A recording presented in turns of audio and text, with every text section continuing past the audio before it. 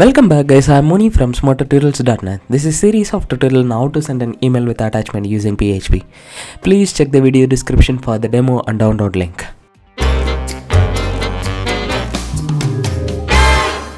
In this tutorial, we are going to see how to send an email with attachment from your localhost using PHP I will cover the two solutions. The solution one is do the configuration changes at the server level in php.ini.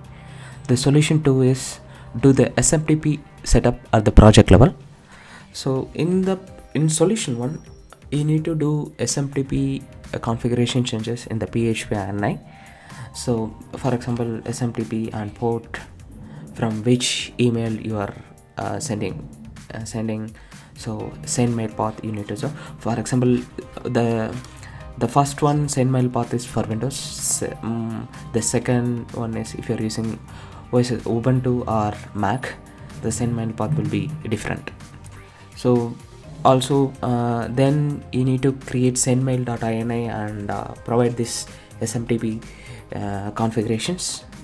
So once you've done these changes next you need to restart the server and so that whatever the changes you made in php will take effect. After successfully restarted the server next go and create the PHP file um, write the mail uh, functionality then send the mail from your localhost. Now it will send from your mail will be sent successfully from your localhost. The next is a PHPMailer supports the smtp so um, you you do smtp configuration when you're sending mail using PHPMailer. Okay? So this is what we followed uh, throughout this tutorial. I created config.php uh, where i kept with the smtp uh, configurations so host and port username so please replace with your gmail id and password so um, this configuration i gonna use in the mail now I included the config.php in the mail.php. Uh, also, I provided the configuration we defined in the config.php to the PHPMailer. Okay. Also, I enabled the um, insecure connections via SMTP options. If you don't have the proper SSL configuration in your local server, you need to enable it. Otherwise, SMTP server won't connect.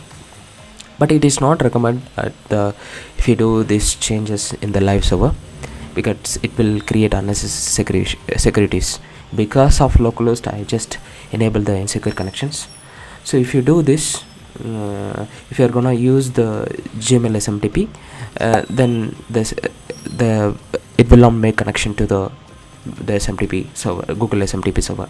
Also you need to do one more changes in your google account. You need to go to myaccountgoogle.com and security tab and allow less secure apps because we are making insecure connection right? You need to allow the insecure connection uh, to connect to your account. Once that done um, you can send a mail from your localhost that will be delivered mail sent successfully? Yeah.